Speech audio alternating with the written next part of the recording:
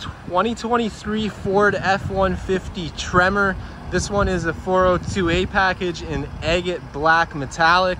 Absolutely awesome looking truck. You're rolling on 18 inch dark aluminum alloy wheels with all-terrain grabber tires. Really awesome setup here. This one's powered by a 3.5 liter V6 with a 10 speed automatic transmission. That nice tremor emblem on the back there. Course, you got the power sliding rear glass window. You do have a power tailgate, so it goes down and up on this, as well as your dual exhaust back there as well. And taking a look inside the bed, you do have the tailgate step in there. Of course, you got your work surface, and then you got Pro Power 2 kilowatt on board here and LED bed lighting.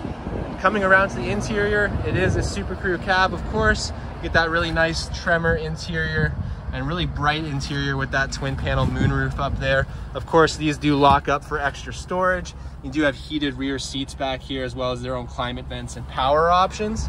And coming around to the front, plenty of storage in the door. Of course, you have your 18 speaker B&O sound system, your driver seat memories, power mirrors, uh, windows and locks, of course. And you do have automatic headlights on here as well. And just really nice driver and passenger seat up here with that tremor stitching. Of course, they are power seats. And you get these nice metal running boards on here as well. And stepping in, you get that full digital display right behind the steering wheel. And speaking of the steering wheel, you get that nice heated steering wheel with that nice uh, tremor stitching on there. Of course, you have your adaptive cruise control. Then you have your uh, navigation in the center here with your 360 camera as well. And then you have your different trailer uh, options here. And you do get four automatic on the Tremor as well. You have heated and cooled seats, including a heated steering wheel, more power options up front here, including wireless charging. Then you got your power shifter there and your lockable center console with plenty of storage. Then you also have your lockable glove box over here with storage above.